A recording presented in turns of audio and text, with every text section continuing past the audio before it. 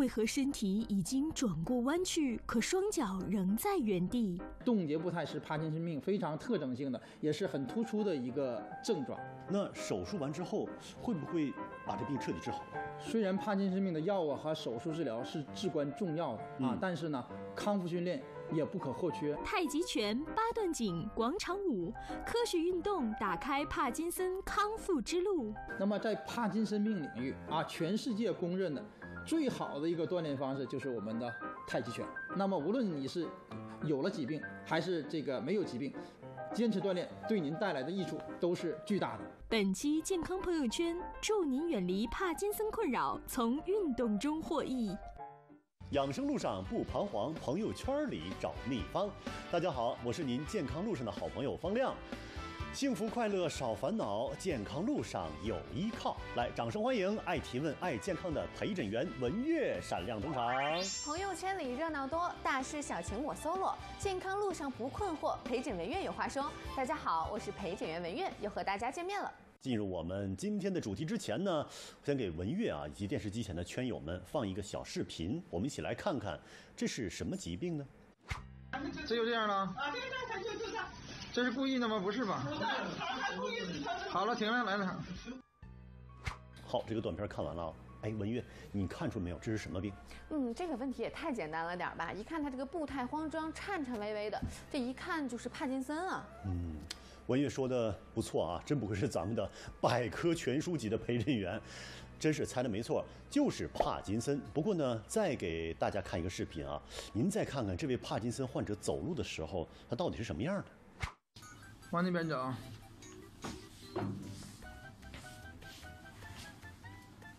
走啊，快点走！啊，难道这个也是帕金森患者吗？嗯，那这为什么刚和刚刚的那个患者差别这么大？这个走路的状态不一样，一点也不抖，而且啊，看起来也非常的正常。对了，这问题的关键就在这儿呢。我们都知道啊，得了帕金森之后，很多病友是怎么样？他手抖得特别厉害，对不对？而且走路的时候会越来越慢，严重的影响了日常生活。但是通过什么样的办法可以来延缓帕金森的进展，甚至说可以改善生活质量呢？让我们请出今天的专家为您来解答。来，掌声有请中国医科大学附属盛京医院神经内科的韩顺昌医生，欢迎您。主持人好，电视机前的观众朋友们，大家好，我是来自中国医科大学附属盛京医院神经内科的韩顺昌医生。本期特邀嘉宾韩顺昌，副主任医师、副教授，中国医科大学附属盛京医院神经内科副主任医师，中国医师协会神经调控专业委员会东北区域工作指导委员会副主任委员，中国康复医学会帕金森病与运动障碍康复专业委员会委员，辽宁省细胞生物学会帕金森病及运动障碍学组副主任委员。欢迎韩老师的到来啊！我们大家都知道，帕金森呢是一种非常非常复杂的疾病。那发展到中晚期这个阶段，会严重影响人们的生活。那它这个危害究竟有多大？那么帕金森病人这个受这个危害呢，确实是非常大的。首先，我们说帕金森病人他的运动功能会明显的受累啊，他的走路啊会明显的受累。那么除了之外呢，其实所有的动作他都是慢的。那么我们有的患者经常就会这样讲。说老伴儿已经下楼走了十分钟了，这个病人的还没有出房间，还没有出房间，他的衣服还没有穿上，嗯，所以就可以讲这个帕金森病人的动作有多慢啊，有多慢。那么到了晚期的病人，这个病人，比如他起床就变得非常艰难，嗯，那从凳子坐起来也很艰难啊，也很难，甚至到了晚期，他翻身都变得是一个天大的事儿。那么。在行动不便的过程中，其实帕金森病人他容易出现这种跌倒的现象，他由于平衡功能受累，站不稳啊，坐不稳，而且呢，有一些病人呢还会出现这种夜间的这种我们说的 RBD 的症状，就是他在梦中会有一些动作，那么有的人可能就翻滚下床了啊，他在跳崖的过程，他可能就是翻滚下床，所以说造成这种运动损伤的伤害是挺明显的。没错，其实。嗯，这个病啊，没有在自己身上，自己真的是很难理解啊。有很多地方其实是我们根本想象不到的。听了韩老师这么一介绍之后，我们才发现，其实这个病虽然说它只是说一个病，但是它从多方面都会对这个呃患者还有患者的家人造成很多的影响，甚至说很多的伤害。那刚刚我们看到这个视频里的患者呢，你看走道颤颤巍巍的哈，好像是他在走，但是又好像没挪几步，呃，这是不是就是说我们平常说的这个行动不便？确实是，嗯那么这就是我们说的这个冻结步态，冻结步态，冻结步态。那么病人看似在走，但是他的这个行动的效果没有出现啊，他脚总是在原地蹭、抖啊啊。那么身体呃内心呢有想动，但是呢没有动的这种实际的效果。好的，那出现了冻结步态了，到这个程度，是不是说明这个帕金森已经比较严重了？确实是比较严重了。那么帕金森病最开始出现的症状呢，常常是比如说运动的迟缓，但是一般来说都是比较轻微的。我们临床上可能看见他走路稍稍慢一点儿，步伐比较小一点，小碎步，我们常常用这个词。另外可能发现他这个走路的时候手臂摆动会比较少一点点。然后呢，他穿衣、吃饭，所有的动作都会变得越来越慢啊，这样呢是一些早期的表现。那么随着疾病的进展，这些症状变得越来越突出，尤其是出现了这个中线的症状的受累，比如说他的吞咽变得越来越困难啊，然后呢出现了这种步态的问题、平衡的问题等等啊，到了晚期呢才会出现这种认知的问题，从中晚期开始。病人就很容易出现步态的问题。当然，冻结步态是帕金森病非常特征性的，也是很突出的一个症状。那我特别好奇，就是说，如果出现这个冻结步态的话，这患者本人是什么样的感觉？他他能感受得到吗？太能感到了。病人由于冻结步态对他的运动功能产生了影响，他想走，但是呢，他走不出去，这个脚像粘在地下一样，定在地下一样，他就是迈不出去。所以这一段他是非常痛苦的啊，非常痛苦的，很着急，很着急，内心越走不动啊，越着急，越着急，这个腿又拔不起来啊，这几秒钟的时间对他来说是很痛苦的。他常常会在一些特殊的情况下，哦比如说啊，我们起步，刚才我们跟大家讲了，那么还有呢，就是一些狭窄的空间啊，比如说我们经过一个狭窄的过道，啊，他就觉得这个空间好像不够用，他就迈不开步了啊，迈不开步。那么还有呢，就是在转身的时候。啊，在转身的时候，比如一转身啊，它的平衡的要求就相对来说要高，它这个步呢，脚就像在地下抖一样啊，转不过来。那我们正常可能，比如转个一百八十度的弯，可能就是两步、三步就过来了。但是他在转一个一百八十度弯的时候，可能要四步、五步、六步啊，他还一直转不过来啊，而且在一直在那儿停在那儿，在在抖的这种动作，所以这是一个很很严重的现象。那其实，在今天之前呢，我一直没想到过这个帕金森病会对患者造成如此严重的影响，无论是在这个生活上还是在心理上。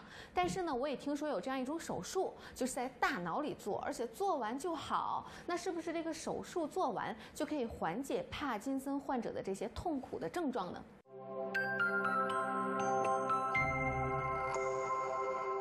让老慢支告别咳痰喘。让哮喘、慢阻肺不再反复发作。健康朋友圈联合燕都呼吸病医院，共同打造让爱呼吸公益活动。详情请咨询零二四二二八三七九九九。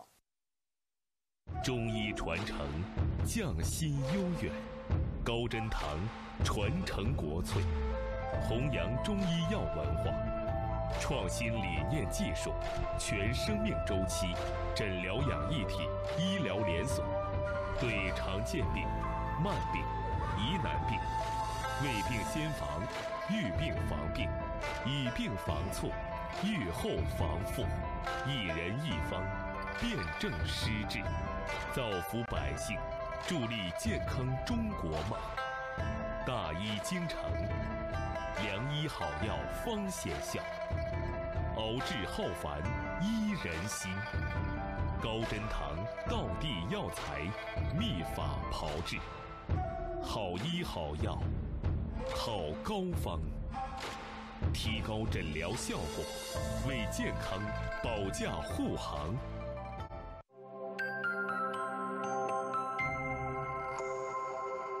好，继续我们刚才聊的话题啊。刚才的文月说了，说那个有一种手术，手术之后呢，就可以在一定程度上呃缓解这帕金森所带来的影响。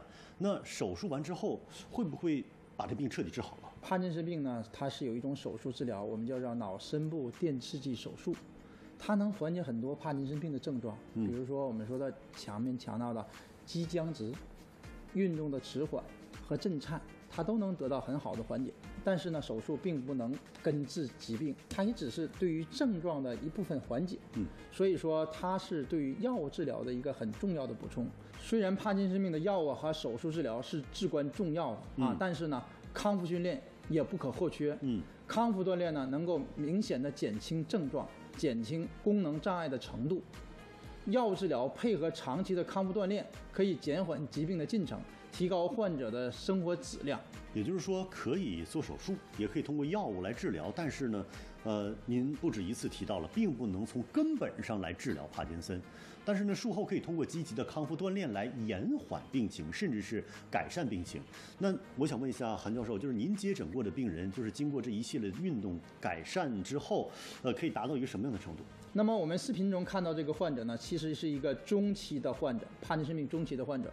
那么经过我们的短期的康复，其实这个病人呢，在我的诊室内呢，我大概就是教了他十五分钟啊，教他走八字步啊，八字步。那么经过这样一个短暂的过程，教会他这个过程之后呢，他在外面大概己练习了半个小时左右。我们可以看到，这个病人在短短的在一个小时左右的时间，就发生了天翻地覆的变化，也就是他的步态明显的更像一个。正常人在走路，嗯，但是我们大家也要知道，这种短期的康复训练呢，它可以一时改善了病人的症状，是又要想维持住这个疗效，病人一直保持这种较好的这种状态的话，需要长期的坚持。那么，长期的坚持之后呢，就把它这种啊好的疗效能够保持下来，否则的话呢，它这个疗效可能就会逐渐的又消退了啊，消退。所以对于帕金森病的康复呢，其实它的疗效。在短期之内，我们就可以看得见，但是通过长久的这种坚持啊，长久的坚持，这个时候呢，它的疗效就能啊长久的维持下来。那这么看来啊，对于帕金森患者来说，每天坚持运动才是最重要的。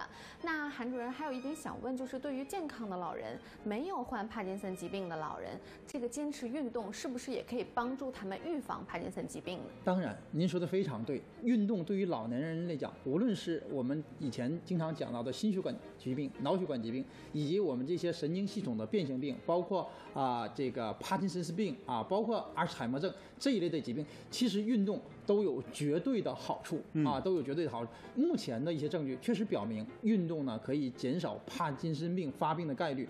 对于已经发病的病人呢，它能够延缓疾病的进展啊，让这个病人维持更好的生活质量。那么，如果您既往有这种锻炼的习惯啊，锻炼的习惯，如果您病后能够长期坚持，您的这种疾病的发展的速度一定是会更慢的。那么，无论你是有了疾病还是这个没有疾病，坚持锻炼对您带来的益处都是巨大的。那说到这个呃康复运动啊，对于这个帕金森患者，它有这么大的帮助作用的话，正好今天韩恩主任也在这里，可不可以为我们支上几招，然后让我们广大圈友咱们一起来学习学习，咱们动起来，好不好？其实小的运动也非常重要。嗯，您比如帕金森病经常会出现系纽扣。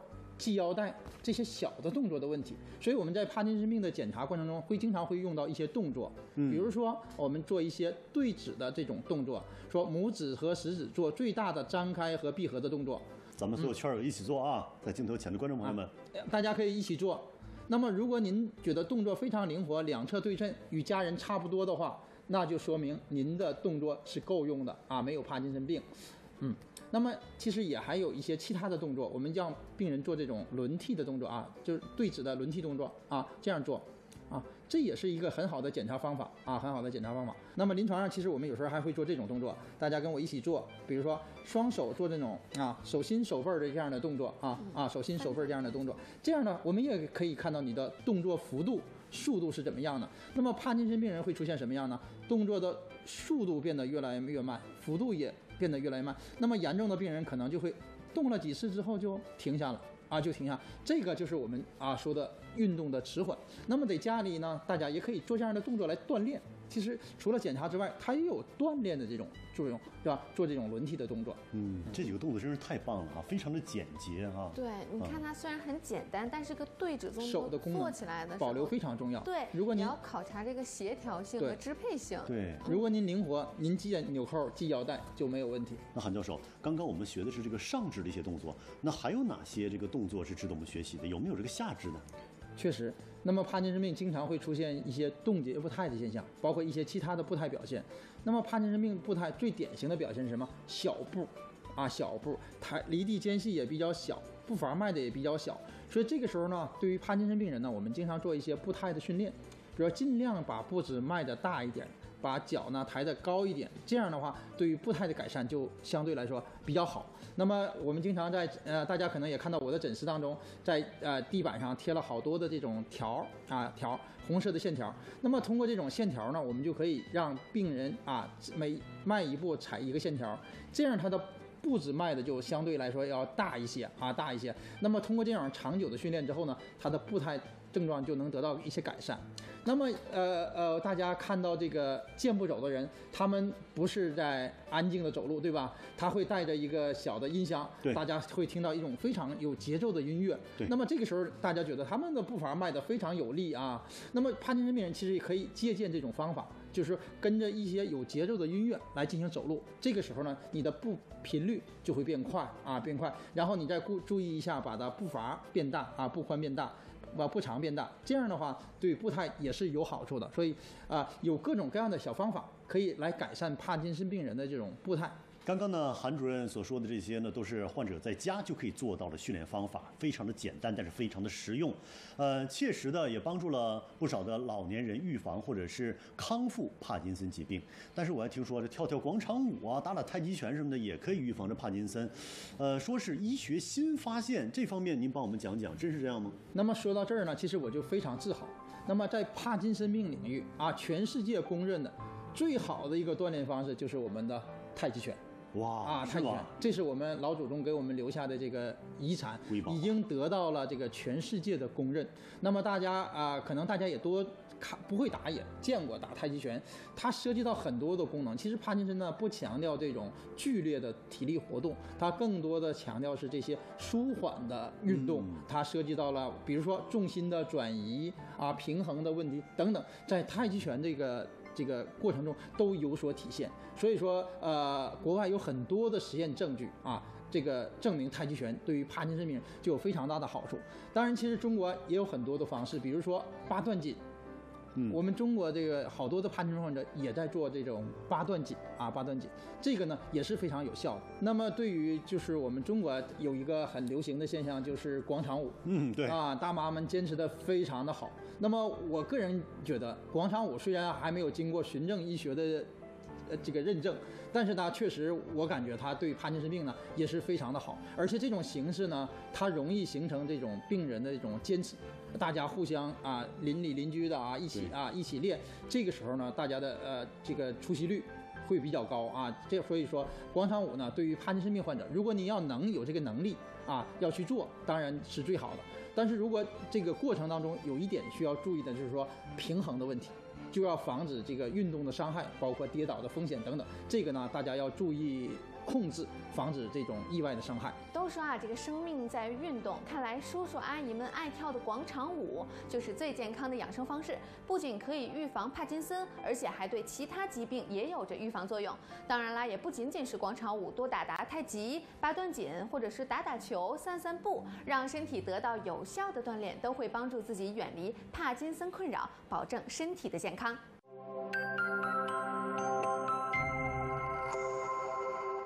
让老慢支告别咳痰喘。让哮喘慢阻肺不再反复发作。健康朋友圈联合燕都呼吸病医院，共同打造让爱爱呼吸呼吸公益活动。详情请咨询零二四二二八三七九九九。开购大测评，看它行不行？最近呢，有粉丝给我推荐了一个既能解馋又能帮助人体排出湿气的小糕点。从中医角度讲啊，湿气不除，百病生。这款益湿膏呀，在古方的基础上改良，采用赤小豆、芡实、薏米仁、山药、茯苓等多种优质的食材，科学配比而成。三伏除湿吃啥好？低糖软糯，益湿膏，好吃不贵，营养美味。他们奏响城市清晨第一章，他们让每次托付使命必达，他们撑起岁月静好，却在承受身体之痛。辽宁北方频道携手陈李济舒筋健腰丸、蓝天医药连锁、巨力大药房，为爱撑腰，致敬负重前行的你，温暖再行动。腰椎间盘突出人群拨打电话：四零零幺零三幺八八七，报名领取二百九十八元护腰大礼。舒筋健腰丸向努力拼搏的你致敬。我们一生会推开很多扇门，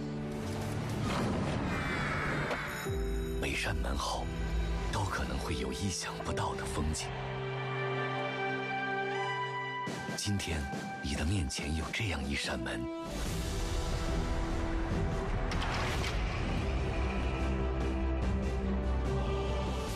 走进这扇门，为人生留下珍贵的记忆。穿过这扇门，在寂寞的坚守中，让青春闪光。跳出这扇门，从千米高空俯瞰大地。守住这扇门，我身后是万家灯火的安宁。二零二二征兵大门已开启，火热军营，精彩人生。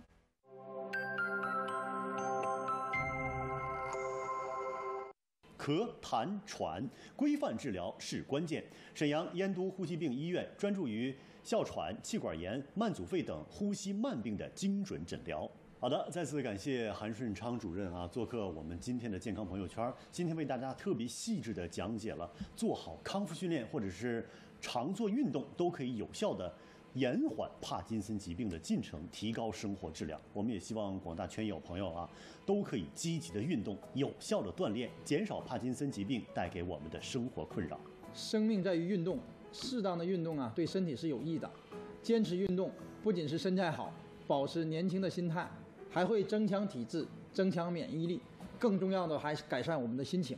这对于肢体出现运动障碍的帕金森病患者也非常有必要。运动啊，让患者专注起来，分散对疾病的注意，心情也会愉悦起来。同时，家属也要耐心。患病后跟健康时不一样，患者在很多事情上都可能速度变慢啊，我们就说的运动迟缓，比如穿衣服、坐起来。啊，走路啊，家属呢千万不要对患者产生消极的情绪，应给予耐心和鼓励，鼓励患者去运动锻炼，去更多的接触社会、接触朋友。